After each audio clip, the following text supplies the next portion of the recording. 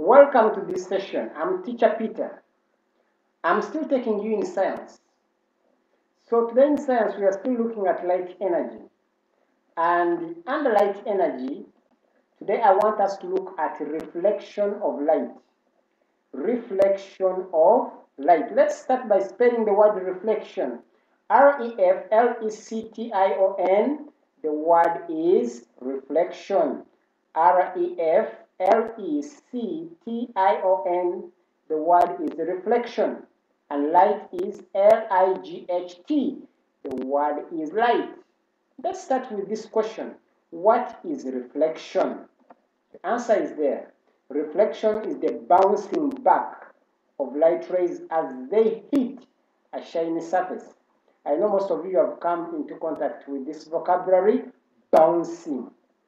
When you're even in your PE, you always sing, bounce the ball, bounce the ball, bounce the ball high. Yes, today we are looking at reflection, and we are saying reflection is the bouncing back of what? Of light rays as they hit a shiny surface. Let's look at this we are seeing the light rays are coming to hit a shiny surface, which is the plane mirror, and they are bounced back. Are together? Yes, this bouncing back is what we are referring to as reflection. So, let's assume there is a, a source of light right here. It might be a candle, it can be a bulb or a torch, and when switched on, it gives out a ray of light out together or a beam of light. And what happens when the beams of light or the rays of light are moving out? The ray of light that comes out of this source of light, which is right here, this ray of light is what we are referring to as the incident ray. Out together? The incident ray. Let's spell the word incident. I N C I D E N T. The word is incident and the word ray is R-A-Y. So, incident ray. Are together? It is the ray that is coming from the source of light, and then when it hits onto a plane mirror, it's reflected. Are together? And when it hits onto the plane mirror, a reflected ray is formed. Let's spell the word reflected. The word reflected is R-E-F-L-E-C-T-E-D. The word is reflected. Are together? So when an incident ray comes to hit onto the plane mirror, a reflected ray is formed. But let's look at this diagram more carefully. In the middle here, we are seeing a red line here. Yes, this red line is representing a normal ray. Altogether. So in between the incident ray and the reflected ray, we have got what we call a normal ray. Altogether. And when the incident ray meets with the normal ray, an angle is formed in between here. And what's the name of the angle? The name of the angle is the angle of incidence. The angle of incidence. Let's spell the word incidence. I-N-C-I-D-E-N-C-E. -E. The word is incidence. I-N-C-I-D-E-N-C-E, the word is incidence. And when the normal ray meets with the reflected ray, an angle still is formed in between them. And which angle is that? It's the angle of reflection. Let's spell the word reflection.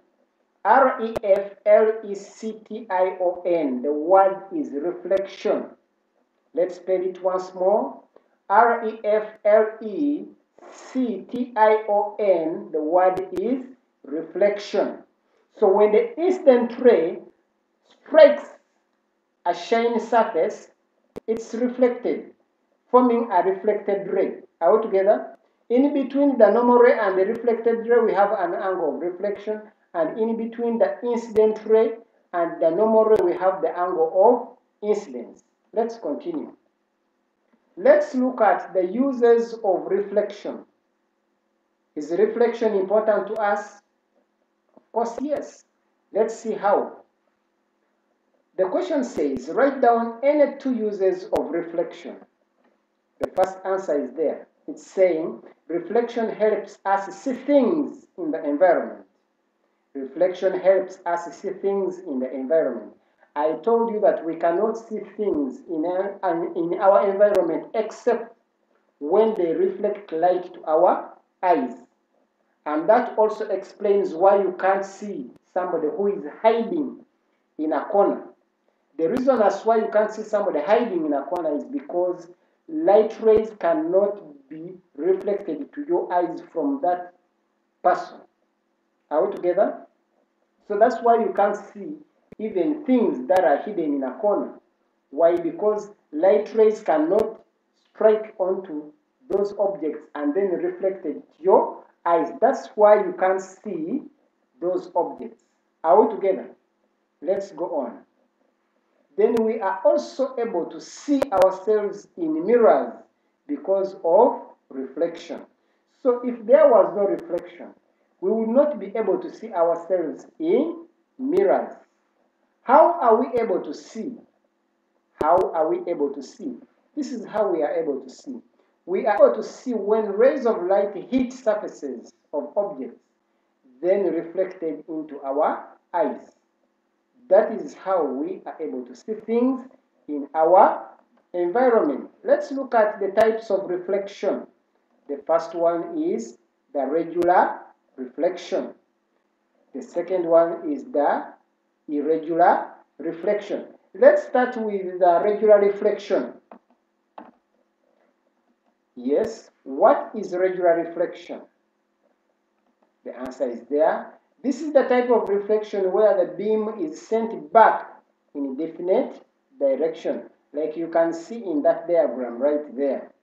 We have got what we call regular reflection. That diagram is illustrating regular reflection. When you look at this surface here, where the cursor is pointing, are we together? Yes, this surface is a smooth surface. We together? It is a smooth surface. That's why when these light rays or when this beam comes to hit onto this smooth surface, it is reflected back in a definite direction. Let's go to the next. We can also define regular reflection as the type of reflection on a smooth, shiny surface.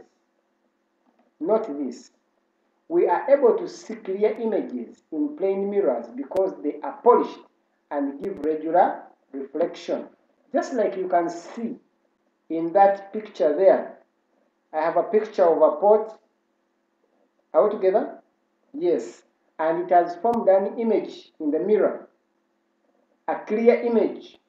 Why? Because the surface of this mirror is polished. That's why you can see a clear image.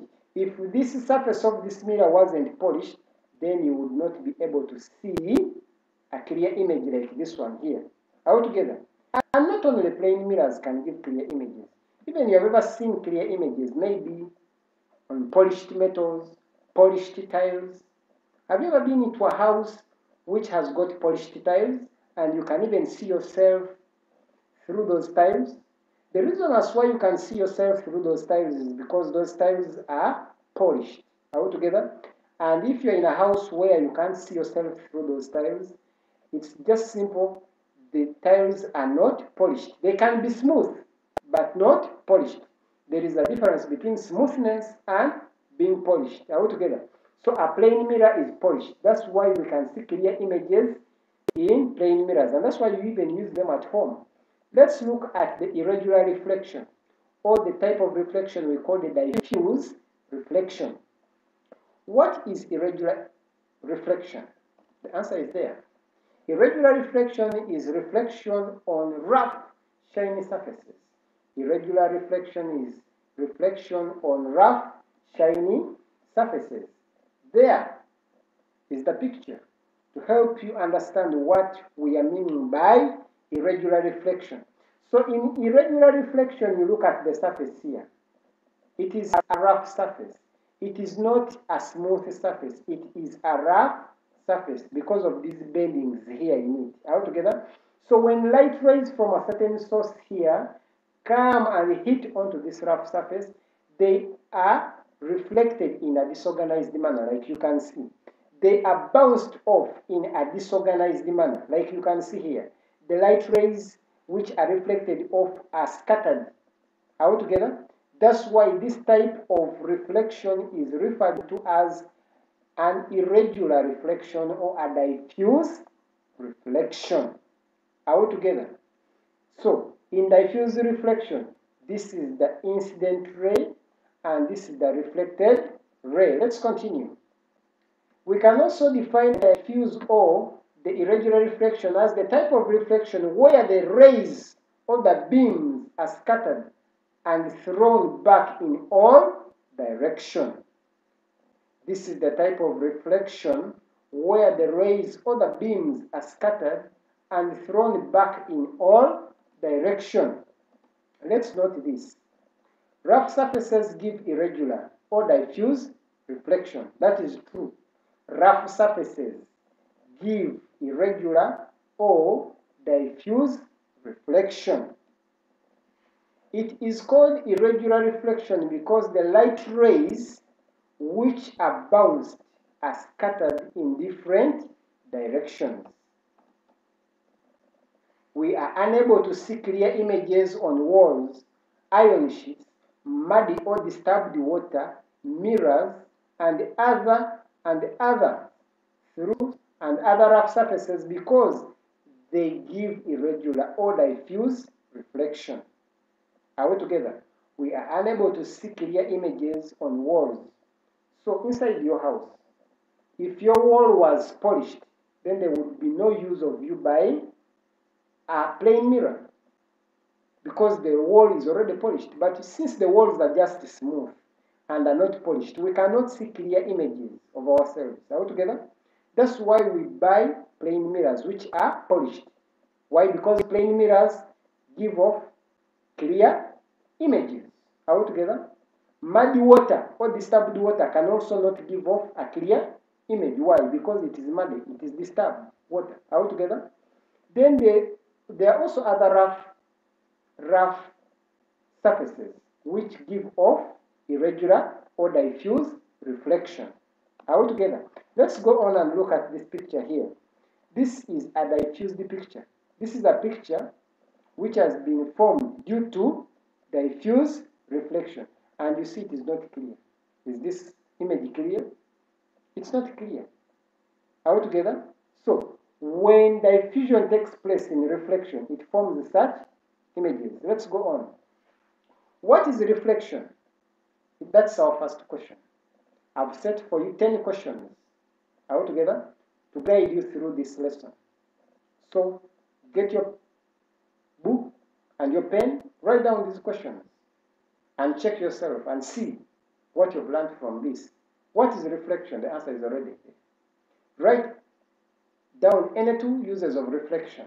The answers are already there. How are we able to see objects? The answers are there. Write down the two types of reflection.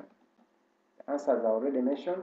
Define the following regular reflection, irregular reflection. Then, number six, in the space below, draw illustrations to show regular reflection and irregular reflection. Then, why are we able to see clear images on plane mirrors? Number eight, what type of reflection is shown in picture A? In picture A, what type of reflection is that? In picture B, what type of reflection is that? Number eight, why do light rays in irregular reflection scatter in different directions? Mm -hmm. Think. Why do light rays in irregular reflection scatter in different directions? Then number 10 says, what happens when light rays hit a smooth surface? What happens when light rays hit a smooth surface? And finally, don't forget to subscribe our channel. Please subscribe to this channel for you to be able to get lessons, uh, to get notifications for the lessons we posted on this channel. Please subscribe. It's free. It's free of charge. just subscribe and you will always get notifications that we have posted another new video. Let's meet once again in our next lesson. Don't forget to hit that subscription button. Nice time. God bless you.